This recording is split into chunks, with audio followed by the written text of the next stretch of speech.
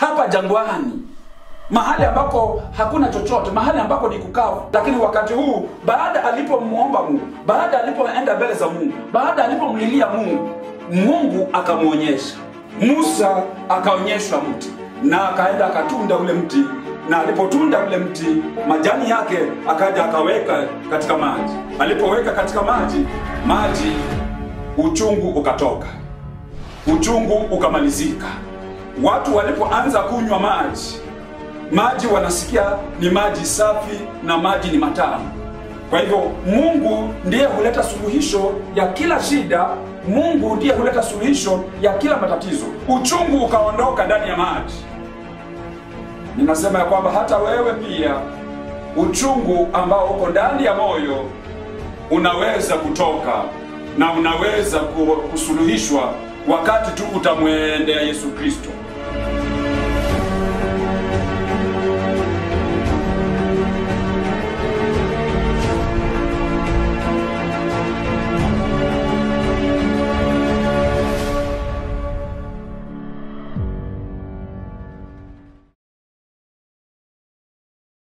Bwana Yesu asifiwe.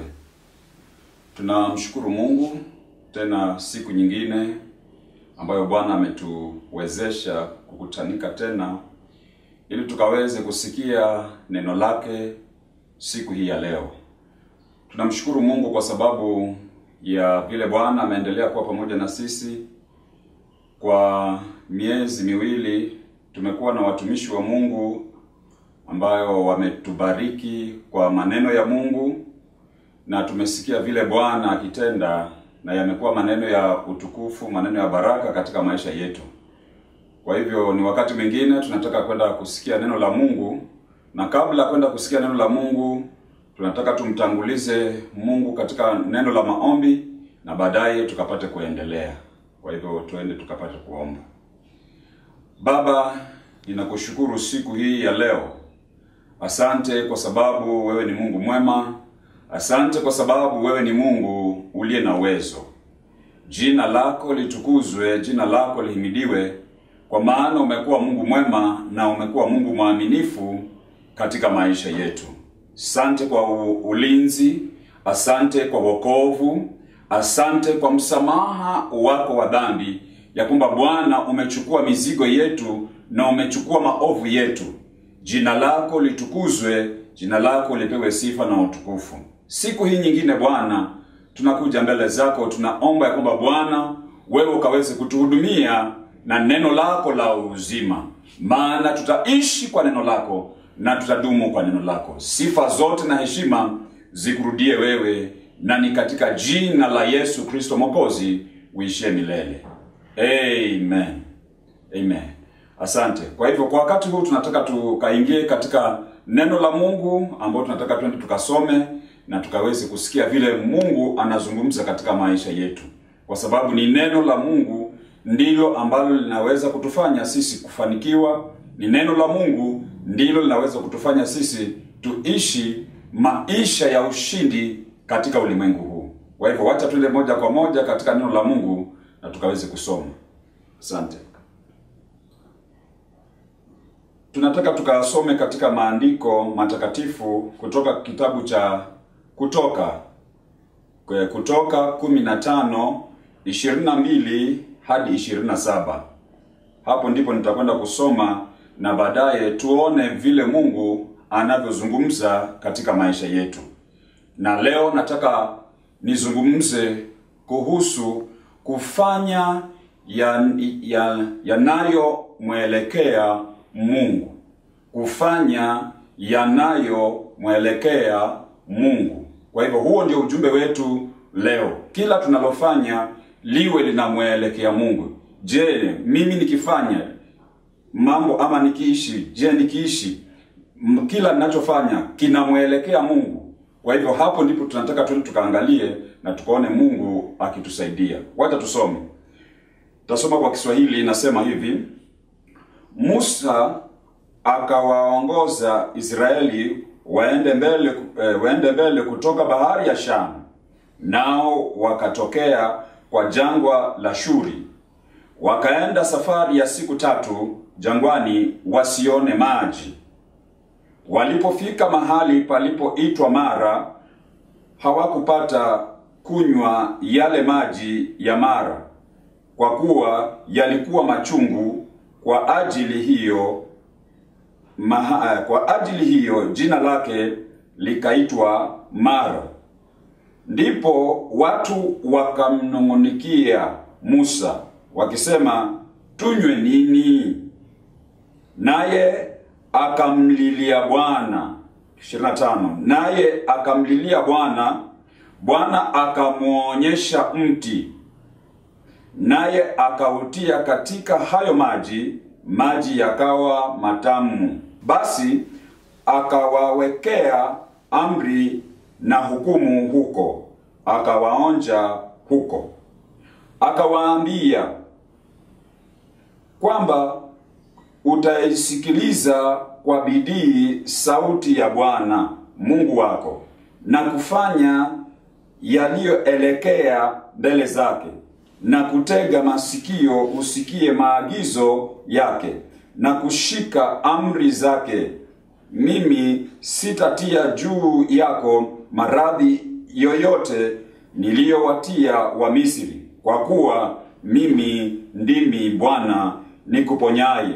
27 Wakafikiria elimu palipokuwa na chemichemi kumi na mbili na mitende sabini wakapanga hapo karibu na maji.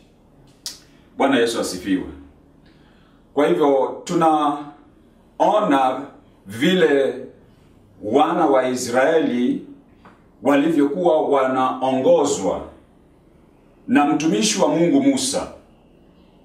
Mahali ambapo tumesoma tunaona ya kwamba baada tu Musa alipowatoa Misri, basi waliingia ama waliifikia bahari ya Shamu, na walipofikia bahari ya Shamu, Mungu akapasua hiyo bahari ya Shamu, nao wana wa Israeli wakapita katika bahari ya Shamu. Na baada ya kupita bahari ya Shamu, maandiko yanatueleza basi wameona muujiza wa Mungu vile alivyotenda. Wana wa Israeli wameona kwa macho yao jinsi Mungu alivyotenda dhidi ya maadui zao. Kwa hivyo wameona miili ya Wamisri imelala imetapakaa katika uh, katika pwani ya ile bahari ya Shamu. Kwa hivyo wakiwa wametapakaa pale waliona miili yao, lakini wao wakapita salama na wakaendelea na safari. So mahali ambapo tumesoma ni kwamba baada tu walipotoka katika bahari ya Shamu, Musa akawaongoza wakaendelea. Walipokuwa wakiendelea, wakaingia mahali palipokuwa na jangwa. Jangwa hili lilikuwa linaitwa jangwa la Shuri, na mahali hapa wakatembea kwa muda wa siku tatu. Kwa hivyo wametoka bahari ya Shamu, wameingia katika jangwa la Shuri. Kwa hivyo muda wa siku tatu wanatembea, na Biblia inasema ama neno la Mungu linasema ya kwamba walipokuwa wakitembea hawakuona maji yoyote, hapakuwa na mahali popote hata na tone la maji, maana ilikuwa ni jangwa, hakuna chochote katika lile jangwa. Kwa hivyo wanapotembea siku tatu, basi wakahisi njaa ama wakahisi na kiu, kwa sababu hakuna maji katika jangwa lile. Kwa hivyo wanapotembea wakiwa wanaenda miilini mwao wanasumbuka, kwa sababu hakuna nini? Hakuna maji. Biblia inasema hawakuona maji. Kwa hivyo wakaendelea wakaendelea wakaendelea, lakini baada ya siku tatu walipokuwa wakiendelea, wakafika mahali panapoitwa Mara. Hapa mahali walipofika, waliona maji, walipata maji mengi, maji yalikuweko. Biblia inasema walipofika Mara kulikuwa na maji, na mioyo ikaanza kufurahi mioyo ya, wa, ya, ya wana wa Israeli wanaanza kuwa na moyo wa shukrani, ana wanafurahi, maana wameona sasa watakunywa maji. Kwa hivyo wakiwa wameona maji, mioyo yao inafurahia. Their hearts are so much joyful. They are thankful because of the waters that they saw at Mara. Na sasa wakiwa wanataka kwenda kunywa, wakakimbia, pengine walikimbia mbio kwenda kunywa maji yale, lakini walipoanza kuyaonja maji, Biblia inasema maji yale yalikuwa machungu. Maji ni mengi, lakini maji yale yamekuwa machungu. Kwa hivyo waki, wakitum, wakionja wanashindwa sasa, watafanyaje? Waka, wakaanza kumwendea Musa na hawamwendei kwa uzuri. Wakati shida zinapokuja, hata sisi wakati mwingine ama binadamu wakati mwingine pia wanaweza kuomba kwa hasira ama wakamwendea Mungu kwa, kwa, kwa nini? Kwa uchungu na hasira, kwa sababu ya yale mambo ambayo wamepata. Saa nyingine tunafanya maombi ya hasira, saa nyingine tunafanya maombi tukiwa na, na hofu nyingi na huzuni nyingi ndani yetu. Kwa hivyo hawa wapendwa wakaenda mbele ya Musa wakaanza kuzungumza eh? Wanasemaje? Wanasema sasa tutakunywa nini? Maji ni machungu, tutakunywa nini Musa? Na Musa akitazama anashindwa, hawa watu watawafanya nini? Lakini Mungu ashukuriwe, Musa kila wakati alikuwa anamwendea Mungu. Wata, wata, wakati wamekuja mbele zake, yeye anamwendea Mungu na Mungu anazungumza. Wapendwa, kila wakati hata sisi tuwe na kujifunza. Wakati shida ama wakati matatizo yametujia, ama kama wewe ni mtumishi wa Mungu na umeletewa hoja mbalimbali, hoja zinazoleta mchanganyiko wa kimawazo, inaleta msukumo wa kimawazo, huna jawabu la kuwapatia hebu na, kwa, eh, na kuhoji ama na kusihi usongee mbele mbele za Mungu uulize kutoka kwa Bwana. Wakati mmoja Daudi akasongwa na uh, wale wapendwa ambao walikuwa pamoja na yeye pia. Aliposongwa akasonga mbele ya Bwana na akaenda akaenda akafanya nini? Akamlingana ama akamuuliza Mungu. Wakati mwingine hata pia watumishi wa Mungu wengine walipokuwa wamesongwa na mambo, kila wakati walikuwa wanaenda mbele za Mungu kuuliza watafanya nini. Na hiyo ndiyo njia ambayo sisi pia tunahitajikana tuwe nayo, ya kwamba kila tunalofanya liwe linamwelekea Mungu. Ninapoishi katika dunia hii, kuwe kuna njia ambayo ninaweza kumwona, ninaweza kumwelekea Mungu, kwa sababu mawazo yetu yanaweza kutufunga. Siku hizi watu wamefungwa na mzongo wa mawazo ama na msukumo wa mawazo, na hii ndiyo sababu siku hizi kuna shida, uh, kuna shida nyingi za kiakili, kuna shida nyingi za kimawazo, mpaka mtu anaingia kiwango cha kuchukua hatua kinyume na neno la Mungu, lakini Mungu anataka kila wakati sisi tumsongelee, kwa sababu yeye ana njia ya kututoa, kwa sababu tunapomwendea anaweza kututoa, maana ana njia ya kututoa. Kwa hivyo wana wa Israeli wakamwendea Musa na Musa akawasikiza. Alipokuwa akawasikiza, Biblia nasema Musa akaenda mbele za Mungu. Fungu lile la ishirini na sita linasema hivi, maana nataka tulisome fungu la 26 Musa anasema hivi.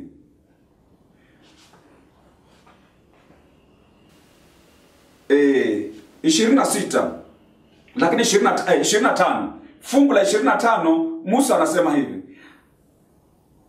Naye akamlilia Bwana, Bwana akamwonyesha mti, naye akautia katika hayo maji maji yakawa matamu. Basi aka akawawekea amri na hukumu huko, akawaonja huko. Kwa hivyo walipokuja kwa Musa wakizungumza haya maneno, wakiwa wananung'unika mioyoni, tunywe nini? Maji ni machungu, tunywe nini? Musa Musa akamwendea Mungu, na alipomwendea Mungu, Biblia inasema Biblia yangu inasema akamlilia Mungu ama akamlilia Bwana, na alipomlilia Bwana, Bwana akamwonyesha mti. Hapa ndipo nataka kidogo tusimame tuangalie, wakati wakitembea katika hili jangwa, wakati wakiwa wako pamoja na wana wa Israeli, hatuambiwi maana hili ni jangwa, na hatuambiwi ya kwamba kulikuwa na miti. Yamkini pengine ilikuweko, lakini Biblia haisemi, kwa sababu inaonekana hapo mahali kulikuwa tu ni nini, jangwa na hakuna hakuna chochote, ni mahali pakavu. So wakati tu hawa watu walipoanza kumwendea kusema tutakunywa nini, na Musa akamgeukia Mungu na kumlilia Mungu, Biblia inasema Mungu alimwonyesha mti. Kwa hivyo wakiwa wanaendelea pale, mti ulikuweko, lakini hawange, hawa, mti haungeweza kuonekana. Hata Musa pia alikuwa hauoni. Ndiyo, mti uko, lakini hawezi ku, kuona mpaka Mungu alipomwonyesha. Bwana Yesu asifiwe. Kwa hivyo alipomwonyesha Musa akaenda akauchukua, na lazima alimwonyesha na akamwambia maneno pengine kuhusu huo mti, maana baada ya kuona alianza kuchukua hatua na kwenda na kutunda majani yake na kuleta na kutupa katika maji yale yaliyokuwa ni machungu. Kwa hivyo mti huu ambao ye, ye, e, Musa aliuona hapa jangwani, mahali ambako hakuna chochote, mahali ambako ni kukavu, but this time, lakini wakati huu, baada alipomwomba Mungu, baada alipoenda mbele za Mungu, baada alipomlilia Mungu, Mungu akamwonyesha. Kumbe ni kwa Mungu peke yake ndiko tunaweza onyeshwa, ni kwa Mungu peke yake ndiko tunaweza kupata njia, ni kwa Mungu peke yake ndiko tunaweza kupata suluhisho ni kwa Mungu peke yake ndiko tunaweza kupata kuona. Hata alipokuwa pale Musa haoni ule mti, hata alipokuwa akitembea haoni ule mti. Watu wote alio nao pia wako pale, lakini ule mti hauonekani mpaka wakati alipoanza kumlingana na Mungu, alipoanza kunena na Mungu, alipoanza kumwomba Mungu, akafunguliwa na akaonyeshwa ule mti aende akachukue akatunde majani yake na aje kuweka katika maji yale yalikuwa machungu. Bwana Yesu asifiwe. Mungu anaonyesha, Mungu ana njia, Mungu ana kila chochote tunachohitaji iwapo tutamwendea kwa imani, tutamwendea tukiwa tuna matumaini ya kwamba kweli yeye kwake tunaweza pata jibu. Musa akaonyeshwa mti na akaenda akatunda ule mti, na alipotunda ule mti majani yake akaja akaweka katika maji. Alipoweka katika maji, maji uchungu ukatoka, uchungu ukamalizika. Watu walipoanza kunywa maji, maji wanasikia ni maji safi na maji ni matamu. Furaha inaingia ndani ya mioyo ya wana wa Israeli, wanaanza kumshukuru Mungu, wanaanza kum, kumfurahia Mungu, wanaanza kumtukuza Mungu kwa sababu ya yale ambayo Mungu ameyatenda katika mji huu ama katika eneo hili la Mara. Ndiyo, Mara ni uchungu, lakini ikikutana na nguvu ya Mungu, uchungu unabadilishwa kuwa tamu. Mara inabadilishwa kuwa tamu kwa sababu Mungu anaondoa uchungu. Anaweza ondoa uchungu ndani ya moyo, anaweza ondoa uchungu ndani ya maisha ya mtu, anaweza ondoa uchungu ndani ya yoyote ambaye ana a, a, ambaye tumaini lake limefika mwisho. Uchungu unaweza ondolewa. Kwa hivyo uchungu ndani ya maji ukatolewa na mum, na, na utamu ukaingia. Huu mti huu mti ni nini? Huu mti ni picha ya Yesu Kristo. Huu mti ni picha ya mwana wa Mungu. Maana ukitazama maandiko vizuri, wakati Mungu alipoumba bustani ya Edeni, aliweka mti na akauita mti wa uzima. Na akaweka katikati ya bustani ya edeni mti wa uzima. Ukisoma mwanzo mbili tisa na ukisoma mwanzo tatu ishirini na mbili utapata hiyo. Ya kwamba mungu alipotengeneza bustani baadaye akaweka mti katikati ya ule bustanini uliitwa mti wa uzima. In other words ndani ya ule mti kuna uzima. Ndani ya ule mti kuna uhai. Mpya. Kwa hivyo ndio sababu unaitwa mti wa uzima. Bwana yesu asifiwe. Kwa hivyo maji yalipo pat, uh, m, ule, ule mti majani ya mti yalipoingizwa ndani ya yale maji maji yakabadilika. Maji yakawa matamu. Bwana yesu asifiwe. Na hivyo ndivyo kristo alivyo. Maana hii ni picha ya yesu kristo. Na yesu kristo kila mahali alipoenda kila mahali alipoenda Biblia nasema alitenda mema. Kila mahali mahali palipokuwa na vita yesu akiingia vita vinakoma mahali popote akienda kama kulikuwa kuna watu wakilia na kuna maafa maafa yanatoka watu wanaondoa kulia kicheko kinaingia. Mahali kulikuwa hakuna matumaini wakati yesu akifika analeta matumaini. Huu ni mti wa uzima ambao tumepaa. Tunauona hata katika ufunuo. Kwa hivyo from genesis to revelation we can see, tunaweza kuona mti wa uzima. Tunaweza kuona mti wa uzima ufunuo anasema hivyo hivyo. Mbili saba pia ana umetajwa mti wa uzima kwa kanisa lile la efeso. Wakati mungu eh, wakati yesu akimwonyesha jona yohana akizungumzia kuhusu ta, uh, message ama jumbe za makanisa yale saba ya asia minor. Kanisa lile la kwanza la efeso ambalo lilikuwa limepungukiwa na upendo mungu akasema ya kwamba yesu akazungumza aka, aka, aka na yohana ya kwamba kawaambie hawa kwamba upendo wao wa kwanza umepunguka. Upendo wao wa kwanza umepungua. Lakini uwaambie ya kwamba wa, wa, warudie upendo wao wa kwanza warudie upendo wao wa kwanza. Kwa sababu mimi naja upesi halafu anasemaje? Yeye alisikiaye neno hili anasema ya kwamba yeye alisikiaye neno hili huyo nani? Huyo ambaye atasikia hili neno na kulifanya na kuobei then atakula mti wa matunda ama mti wa uzima. Kwa hivyo mti wa uzima tunauona katika genesis pia muti wa uzima tunauona katika the last book kitabu cha mwisho cha nini? Cha ufunuo. Na hapo tunaonyeshwa pia e, mlango wa ishirini na mbili fungu la pili tunaonyeshwa. Nataka nisome tu hapo kidogo alafu baadaye niendelee. E, ufunuo ishirini na mbili. Ufunuo ishirini na mbili fungu la pili inasema hivi.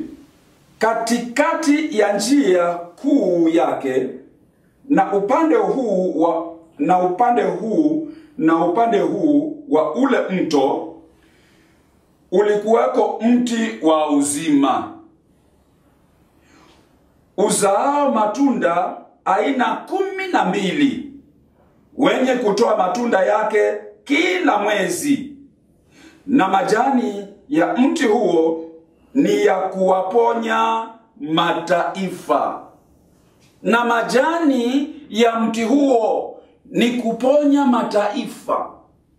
Kwa hivyo huu mti ambao musa aliuona jangwani ni picha ya ama ni mfano wa yesu kristo ambaye alikuja. Maana kila mahali yesu alipoenda kweli alileta. Hata kama kulikuwa kuna kifo kifo kilikuwa kinaondoka. Wakati mmoja wana wa israeli wa, uh, uh, wanafunzi wa yesu kristo wakawa wanavuka ng'ambo. Na walipokuwa wanavuka ng'ambo waka, waka uh, boti ikaanza kupata shida ikasumbuka na mawimbi. Pepo zikavuma eh, misukosuko ikaanza kuonekana na watu wakawa wana, wana, wanaanza kusema tutafanyaje? Kuna nini? Na wakaanza kusumbuka na walipoanza kusumbuka kwa sababu ya nini? Ya msukosuko wa bahari msukosuko ule wa bahari ulipokuwa ukiendelea wakiwa wanasumbuka. Basi kuna kitu ambacho baadaye walifanya. Walipoona wamejaribu kila njia hakuna njia ha, hakuna chochote wanachoweza basi wali- walikumbushana yesu yuko lakini amelala huko katika sherti mwamsheni. So akaenda wakaenda wakamwamsha. Na walipoenda kumwamsha yesu kristo alikuja na akatazama upepo na akatazama dhoruba na alisema. Akasemaje? Akasema upepo ukome. Na upepo ukakoma papo hapo. Biblia nasema na kukawa shwari kuu. Huu ndio mti wa uzima kazi zake unavyotenda matunda ya majani yalipotundwa na yalipowekwa ndani ya maji machungu. Maji machungu yalibadilika yakawa maji matamu. Hivyo ndivyo kristo anavyotenda anapoingia ndani ya maisha ya mtu. Hivyo ndivyo kristo anavyotenda anapoingia ndani ya maisha ya nyumba. Hivyo ndivyo kristo anavyotenda wakati umemruhusu na umemkubali. Maana yeye hufanya bora aruhusiwe akisharuhusiwa anafanya. Kwa hivyo yesu kristo tunamwona katika jangwa anawasaidia wana wa israeli. Musa alipoomba jibu likaja akaonyeshwa mti. Kwa hivyo mti ule ukaleta suluhisho katika maisha ya nani? Katika maisha ya watu. Kwa hivyo mungu ndiye huleta suluhisho ya kila shida mungu ndiye huleta suluhisho ya kila matatizo. Uchungu ukaondoka ndani ya maji. Ninasema ya kwamba hata wewe pia uchungu ambao uko ndani ya moyo unaweza kutoka na unaweza kusuluhishwa wakati tu utamwendea yesu kristo wakati tu utamfuata yesu kristo wakati tu utaamini neno la yesu kristo wakati tu moyo wako unaungamanika na moyo wa yesu kristo uchungu unaweza kuondolewa maana yeye anaweza kuondoa kila aina ya uchungu. Kwa hivyo ndugu yangu na dada yangu tunapoendelea kusikiza naomba moyo wako ufungue moyo wako ufungue ili ukayatende yanayomwelekea mungu.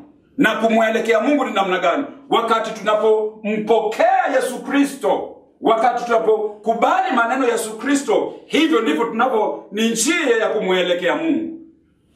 Hivyo ndivyo njia ya kumwelekea nani? Kumwelekea mungu. Tunapoyakubali tunapoyaamini tunapoyasikia tunapofanya katika maisha yetu hivi ndivyo tunamwelekea mungu. Wakati tukishika neno lake wakati tukifuata neno lake basi hivyo ndivyo tutamwelekea mungu ndivyo dada utamwelekea mungu ndivyo ndugu utamwelekea mungu ndivyo kijana utamwelekea mungu msichana ndivyo utamwelekea mungu ukiamini neno la yesu kristo ndani ya maisha yako. likubali let the heart of jesus christ flow into your heart when your heart and his heart are connected together, then it can flow into your heart. And when it flows into your heart, then you can have uh, peace. You can have what? You can have joy in your life. Then you can have a lot of thankful heart and you can continue with the journey of your life because it is him. Yeye ndiye anayefanya nini? Anayetenda kazi katika maisha yetu. Kwa hivyo ninataka niseme ya kwamba hivi ndivyo mungu alivyotenda katika jangwa uchungu ukaondoka. Naamini uchungu atakuondolea. Naamini uchungu atakuondolea. Yesu kristo anaondoa kila kitu. Siku moja alifika hapo Bethany, watu walikuwa wanalia. Lazaro ame, yuko katika kaburi. Aliuliza mumemweka wapi? Martha akasema ananuka maana yapata siku nne. Anauliza mumemweka wapi? Do what is right. Fanya kile anachosema. Na asema njoni kuonyeshe. Na alipokwenda kuonyeshwa aliitwa na lazaro akatoka. Kwa hivyo mauti ikatoka ndani ya lazaro. Kuoza kukatoka ndani ya lazaro. Mabuu yakaanguka ndani ya, eh, katika mwili wa lazaro. Lazaro akatoka yuko hai. Lazaro akatoka ni mji mzima. Naamini ya kwamba hata wewe ukiamini anaweza anaweza kuondoa uchungu anaweza kuondoa kila chochote ndani ya maisha yako kwa hivyo hapo tukafika tumefika tukaona wana wa israeli wakapata maji yao matamu na hivyo ndivyo Mungu anavyotaka. So Mungu ni, Mungu anatufundisha nini? Mungu anatuambia nini? Katika situation yoyote ama katika hali yoyote tunayopitia, ama kama Mungu ataturuhusu tupitie katika hali yoyote ngumu, yeye analo jibu. Anataka tu hata ukipitia, fanya yale yanayomwelekea. Do not change tune, katika jina la Yesu Kristo.